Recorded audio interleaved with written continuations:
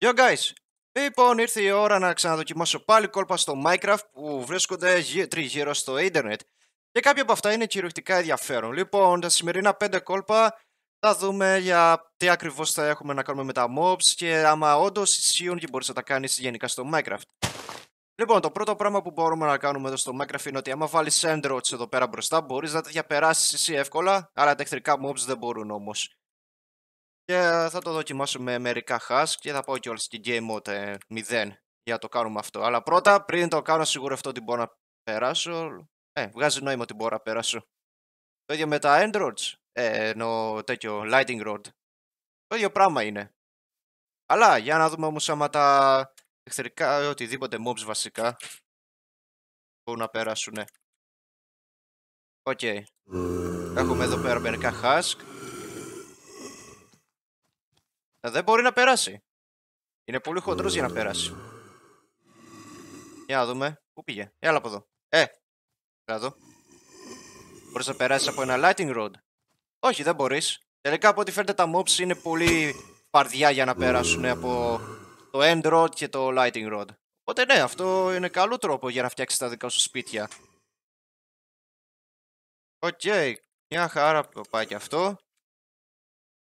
Λοιπόν, ας δοκιμάσουμε τώρα ένα άλλο. Το επόμενο κόλπο έχει να σε κάνει σχέση με τα creepers. Πάρω κι άλλα εδώ γιατί μπορεί να αποτύχουν μερικά. Και όπως ξέρετε τα κεφάλια τα που έχει εδώ πέρα το Minecraft Creeper, Zombie και Σκελετός. Αν και στο Java για κάποιο λόγο δεν έχει του σκελετού.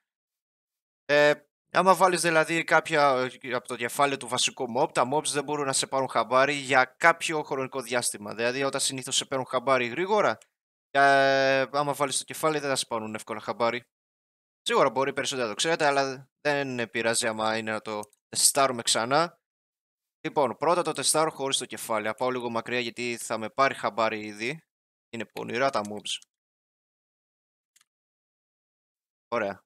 Για να δούμε. Πόσο μπορεί θα με πάρει χαμπάρι άραγε. Είμαι εδώ. Δεν κάνω ούτε crunch. πήρε χαμπάρι από το εκεί περίπου blocks. Δεν ξέρω πόσο είναι. Δεν έκατσα τα μετρήσω. Οκ. Πάμε να δούμε το επόμενο. Λοιπόν, να γυρίσει το κεφάλι του γιατί μπορεί να με δει εύκολα. Και άμα σκύψω έτσι, πόσο μακριά μπορεί να με δει άραγε.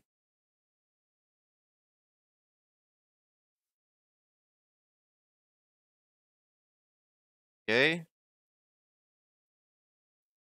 Α, δεν με είδε για δύο ακόμη blocks. Δηλαδή, για δύο λιγότερα blocks δεν μπορεί να σε δει εύκολα. Τώρα θα δοκιμάσουμε το κεφάλι. Αλλά πρέπει πρώτα να με ξεχάσει γιατί ήδη έτσι κι αλλιώς θα ξέρει ποιος είμαι. Τώρα δεν με ξέρει. OK. Okay. Για να δούμε. Τώρα πόσο μπορεί, πόσο είναι ώρα θα του πάρει να καταλάβει. Ε, μπορώ κυριολεκτικά να πλησιάσω πολύ κοντά σε ένα creeper και να μην με πάρει καθόλου χαμπάρι. Επειδή φοράω το κεφάλι. Νόμιζα ότι ήμουν creeper, αλλά μετά κατάλαβε έχω χέρια και δεν έπιασες αυτό. Το ίδιο δεν λειτουργεί και σε άλλα ζόμπι. Οπότε αυτό το κόλπο είναι πολύ καλό. Κάνω και creative γιατί τα ζόμπι αυτά θα με κυνηγήσουν. Ωραία λοιπόν, το επόμενο κόλπο εδώ πέρα που έχω δει στο ίντερνετ είναι το εξής πράγμα που μπορείς να κάνεις με τα ζώα. Άμα θέλεις να έχεις δηλαδή συγκεκριμένα ζώα και δεν θες να βάζεις φράχτες, ας πούμε λέω τώρα, δεν σου αρέσουν να βάζει φράκτες για να τα κλείνεις εδώ πέρα, μπορείς να δοκιμάσει να βάλεις honey block ή slime block. τα honey blocks ε, λένε ότι μπορείς να παγιδέψεις τα mobs και ότι δεν μπορούν να πηδήξουν καν. Καλά, εντάξει, αυτό ισχύει και για τους παίχτες. Δηλαδή, άμα πέσει κάποιος εδώ μέσα, δεν μπορεί να πηδήξει εκτός αν δεν είναι creative. Όταν το δοκιμάσουμε εδώ, έχω μια γελάδα. Και δεν νομίζω να είναι διαφορετικό. Ναι, δεν μπορούν να πηδήξουν καν. Οπότε, ένας σωρό τρόπος για να μπορείς να είσαι τη φάρμα σου. Ενώ με τα slime blocks, παρόλο που πολλά είναι και αυτά, αλλά κυριολεκτικά μπορείς να πηδήξει έξω από αυτά. Α πούμε, αν βάλω την αγελάδα εδώ, τώρα θα βγει έξω. Θα βγει ή θα μείνει μέσα; Όχι, μπορεί να βγει. Ενώ όταν είναι με μέλι δεν μπορεί. Ό,τι φαίνεται, παιδιά, το μέλι είναι πιο κολόδες από ότι είναι η γλίτσα. Ε, βγάζει νόημα. Anyway, λοιπόν, ας δοκιμάσουμε τον άλλο τρόπο που είναι πολύ ξακουστός και πολλοί το γνωρίζουν σίγουρα αφού είστε όλοι Minecrafters είστε, έχει κάνει κάτι με σχέση με το νερό και το TNT. Τώρα, το TNT όπως ξέρουν οι περισσότεροι ότι συνήθως δεν μπορεί να σκάσει ακριβώς ή δεν κάνει καθόλου έκρηξη όταν είναι κάτω από το νερό. Δηλαδή μπορεί να κάνει ζημιά στα, επό... στα entities, αλλά δεν μπορεί να ανατινάξει κανένα μπλοκ. Αλλά άμα βάλεις TNT και ένα sand από πάνω, μπορείς να το κάνεις λες και δεν είναι καθόλου στο νερό να σκάσει πράγματα. Μπορεί να γίνει αυτό, αλλά σε λίγα πράγματα μπορεί να σκάσει. Για να δοκιμάσουμε παραπάνω. Σάντς. Ας πούμε να έχουμε περισσότερη άμμο. Για δούμε, αυτό θα το βοηθήσει; Ναι, όπως βλέπετε έχει σκάσει κάποιο σημείο εδώ πέρα.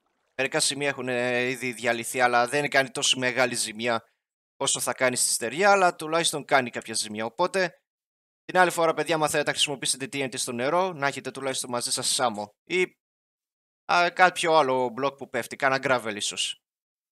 Λοιπόν, το επόμενο έχουμε να κάνουμε τεστ με τον άνθρωπο της κακομήρας, αφού του άρεσε το άνθρωπο της κακομήρας να κάνει έτσι τόσα πολλά τεστ.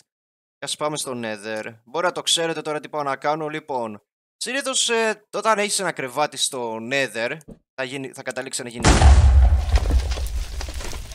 Πολύ απλά αυτό.